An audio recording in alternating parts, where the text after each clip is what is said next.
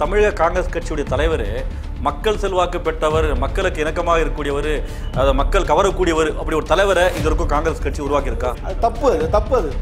நிர்வாகிகளை நியமிக்க கூடாதுன்னு நான் சொல்றேன். அது ஒரு fundamental problem of Congress party.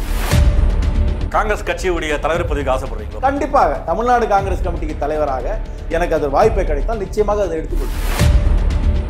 India முழுக்க வாரிசுகளை கொடுத்ததுனால தான் காங்கிரஸ் மிகப்பெரிய தோல்வி அடைஞ்சிச்சுன்னு சொல்றாங்க. உண்மைதான் உண்மைதான். நான் எங்க அப்பா பையன் நான் இல்லாட்டி எனக்கு சீட்டை கொடுத்துருக்க மாட்டாங்க. நீங்களே எனக்கு பேட்டி எடுக்க மாட்டீங்க எங்க அப்பா பிள்ளையாட்டி இல்லாட்டி. இந்துத்துவ கொள்கையில பாஜக வெளிப்படையா தெளிவா வந்து மக்கள் முன்னாடி பேசுறாங்க தெளிவா இருக்காங்க. ஆனா காங்கிரஸ் ரெட்ட வேஷம் போடுது ராகுல் காந்தி நான் பிராமின்ன்றாரு அது சொல்லியிருக்க தேவையில்லாத விஷயம்.